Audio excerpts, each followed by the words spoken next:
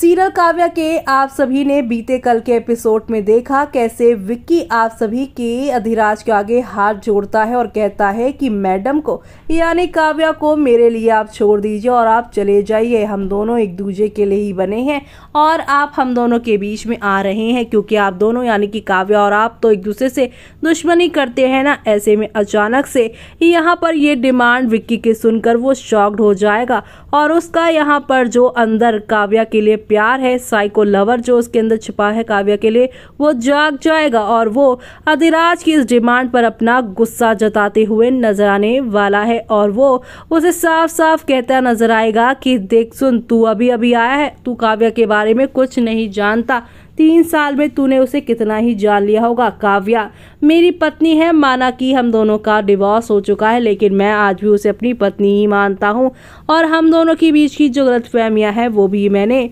दूर कर ली और काव्या को मैं जल्द से जल्द मनाकर अपने पास ले आऊँगा। लेकिन अगर तूने मेरे और काव्या के बीच में आने की कोशिश की ना तो मैं तुझे बिल्कुल भी नहीं छोड़ने वाला हूँ। जी हाँ चोमे, अब यहाँ पर अधिराज, जो कि काव्या के साथ अपनी यहाँ पर ज़िंदगी के बारे में आगे सोच रहा है तो वहीं विक्की, अब किस तरीके से यहाँ पर अधिराज का शिकार हो जाएगा, देखना होगा खास।